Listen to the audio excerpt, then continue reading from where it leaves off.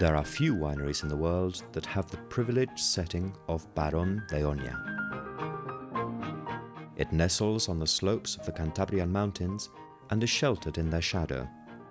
The winery sits in the middle of our San Martin estate, amidst a tranquil sea of vines that we tend with a very special love.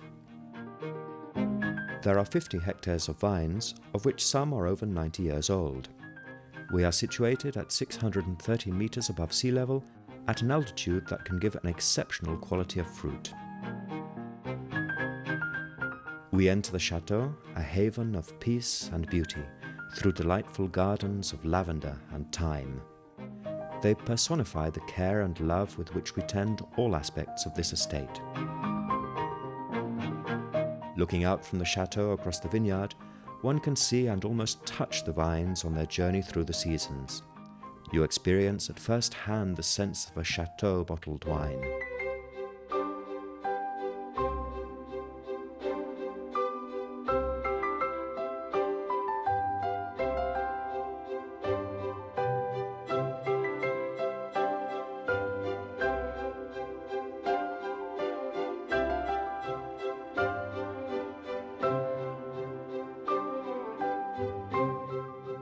Baron de Oña is aged in both French and American oak barrels, a combination that we know to be ideal for the Tempranillo grapes of this property. Here in the Rioja Alavesa, a shorter growing season than in the Rioja Alta gives a greater concentration of tannins, more power and deeper colour to the wines.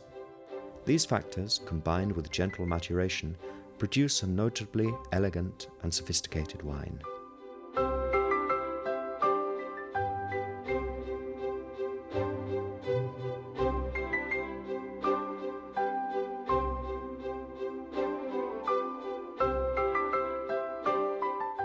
Made in small quantities, as in the great French chateau, Baron de Oña is intense and powerful, but at the same time elegant and perfectly balanced. It is a mirror image of the estate and chateau at San Martin.